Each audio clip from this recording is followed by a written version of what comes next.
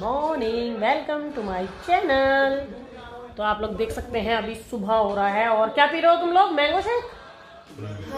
Mango shake पी रहा है ध्रुव। वाह। तो आज मॉर्निंग में हम लोग पी रहे हैं मैंगो शेक और इसके बाद जो हम करेंगे वो मैं आपके साथ अभी शेयर करूँगी। तो चलिए स्टार्ट करते हैं आज की वीडियो तो आज हम बनाने जा रहे हैं भरवा टिंडे जो आई होप कि सबके घर पर बनते होंगे। क्योंकि इस टाइम जो टिंडे आ रहे हैं, वो काफ़ी फ्रेश आ रहे हैं, बहुत कच्चे कच्चे टिंडे आते हैं और इसके लिए ना हम लोगों को एक ही साइज़ का टिंडा लेना होता है। मतलब बहुत ज़्यादा बड़ा साइज़ भी नहीं, बहुत ज़्यादा छोटा साइज़ भी नहीं और कच्चे टिंडे अगर हम लेंगे तो उसके जो बीज वगैरह होते हैं ना, उसको भी हम लोग यूज़ कर सकते हैं इसके अंदर। और अगर पका हुआ टिंडा होता है तो उसका बीज वगैरह जो होता है वो उसको हम यूज़ नहीं कर पाते हैं। तो इस तरीके से हम लोगों को टिंडे लेने हैं, उनको छीलना है और उनको अंदर से खाली कर लेना है। मतलब उनका जो बीज होता है ना उसको निकाल देना है। आज मैं आपके साथ ये वाली जो रेसिपी है ये शेयर करूँगी अपने स्टाइल में क्योंकि आ, मैं इस तरीके की चीज़ें बनाती रहती हूँ। मुझे बहुत अच्छा लगता है बनाना। कुकिंग में कभी कभी करती हूँ बट मैं करती हूँ। मुझे अच्छा लगता है ये सब कुछ करना। और कुछ नया नया ही ट्राई करना मुझे अच्छा लगता है क्योंकि ना टिंडे में अगर नॉर्मल आलू के साथ में हम लोग डाल के खाते हैं तो वो मैं नहीं खा पाती हूँ। मतलब टेस्टी नहीं लगता है हमारे घर पे किसी को भी। और हम लोग जो हैं भरवा करके खाते हैं तो सब लोगों को बहुत ज़्यादा पसंद आता है। तो आई होप कि आप लोग भी टिंडे जो हैं वो बनाते होंगे और काफ़ी अलग अलग स्टाइल से लोग टिंडे बनाते हैं। कुछ लोग इसके अंदर आलू भर के बनाते हैं, कुछ लोग इसके अंदर पनीर भर के बनाते हैं। तो मैं जो हूँ, कुछ भी नहीं भरूँगी, ना आलू भरूँगी, ना पनीर भरूँगी बट मैं इन्हीं के जो अंदर का होता है ना, उसको भरूँगी। और खुशी जो है वो मुझसे पूछ रही थी कि आप क्या क्या बना पाती हो। तो मैंने उसको बनाया कि मैं सब कुछ बना लेती हूँ और पागल तो मैं बहुत ही अच्छा बनाती हूँ। और कुकिंग जब हम करते हैं तो करते हैं, नहीं करते तो नहीं करते। तो ये सब बातें चल रही थी बट ये ना वॉइस ओवर पता नहीं कैसे बंद हो गई तो मैं आप लोगों से अलग से बोल के आपको बता रही हूँ। तो बस इसी तरीके से एक टिंडा इसमें बहुत ज़्यादा बड़ा आया था जो मैं इस टाइम पे निकाल रही हूँ जिसके अंदर से।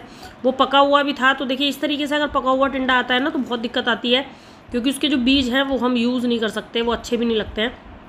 बाकी जो टिंडे थे वो सारे बहुत अच्छे से कच्चे थे तो हमने सारे टिंडों को काट लिया है, बहुत अच्छे से उनको धुल लेंगे, पानी के अंदर डाल देंगे।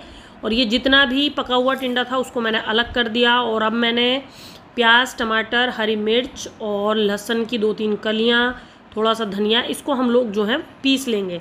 आ, क्योंकि हम लोगों को ना इसके अंदर भरने के लिए एक आ, ग्रेवी तैयार करनी है थोड़ी सी थिक ग्रेवी तैयार करनी है जो हम इसके अंदर भरेंगे। तो उसमें हमें इन सब चीज़ों की ज़रूरत पड़ेगी। तो मैंने पहले सबसे पहले प्याज टमाटर और हरी मिर्च और इस तरीके से हम लोग जो है वो आ, एक प्यूरी बनाएँगे इसकी। लहसुन वगैरह सब डाला है मैंने इसके अंदर और हरा धनिया वगैरह भी डाला है। इसकी प्यूरी बनाएँगे और उसके बाद में हम लोग बनाएँगे टिंडो का जो आ, बीज था जो हम लोगों ने निकाला था तो मैंने उसमें से पके पके बीज सारे अलग कर दिए थे। बाकी नॉर्मल जो गूदा था उसके अंदर का उसको भी हम लोग पीस लेंगे। कुछ लोग उसको कट कर लेते हैं। कट करके भी बहुत अच्छा लगता है। बहुत पतला पतला आप कट कर लीजिए। यही सारी चीज़ें आप पीसे ना, पीसने के बजाय आप लोग कट कर लें। कट करके भी बहुत अच्छा लगता है। बट यश जो है ना, वो थोड़ा मोटी मोटी वाली ग्रेवी नहीं खाते। वो पतली पतली वाली ग्रेवी खाते हैं। तो हम लोगों ने काफ़ी महीन पीसा ये। और फिर उसके बाद हम लोग जो है, इसका बैटर बनाएँगे। आप चाहें तो इसको पतला पतला आप कट कर लीजिए। प्याज को भी पतला पतला कट कर लीजिए। और उसके बाद में इसको फ्राई कीजिए। बहुत टेस्टी लगता है और वो भर के काफ़ी अच्छा भी लगता है। आप इसके अंदर आलू भी डाल सकते हैं, आप इसके अंदर पनीर की स्टफिंग भी कर सकते हैं, बहुत अच्छी लगती है। बट जिस स्टाइल में मैं आज आपके साथ शेयर कर रही हूँ, इस स्टाइल से अगर आप बनाएँगे तो आप लोगों के लिए बहुत अच्छी लगेगी। मतलब मेरा स्टाइल है, ये मुझे बहुत ज़्यादा पसंद आता है इस तरीके से काम करना। और मैं बहुत सारी रेसिपी जो है वो आगे भी आप लोगों के साथ में लेकर आऊँगी। क्योंकि कुछ लोगों ने मेरे साथ काफ़ी रेसिपी की मुझसे पूछा है। एक सब्सक्राइबर है मेरी, उन्होंने मुझसे लच्छेदार प्याज किस तरीके से काटी जाती है उसके लिए बहुत बार बोल दिया है और वो काफ़ी नाराज़ भी हो रही हैं। बट मैं उनके लिए ना प्याज क्या है, मैं मशीन से काटती हूँ, मैं हाथ से लच्छे वाली प्याज नहीं काटती हूँ। मशीन है मेरे पास एक कटर है एक, उससे मैं काटती हूँ, वो मैं उनके साथ बहुत जल्द शेयर करूँगी। बट मैं जो हूँ लच्छेदार प्याज हाथ से नहीं काट पाती हूँ क्योंकि वो बहुत ज़्यादा पतली कट काटी जाती है, उतना पतला मुझसे हाथ से नहीं कटेगा।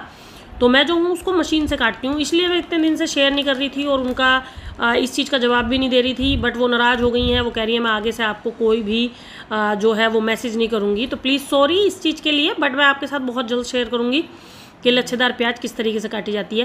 तो देखिए हम लोगों ने प्योरी बना के तैयार कर ली थी आ, सब चीज़ों की और उसके बाद हम लोगों ने सरसों का तेल डाला कढ़ाई में।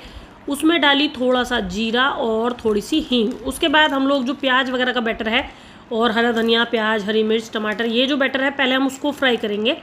और उसके बाद फ्राई करेंगे हम जो हम लोगों ने उसके अंदर से का जो बनाया है आ, जो टिंडे के अंदर जो गूदा निकला था उसका जो बनाया है उसको हम लोग शेयर करेंगे।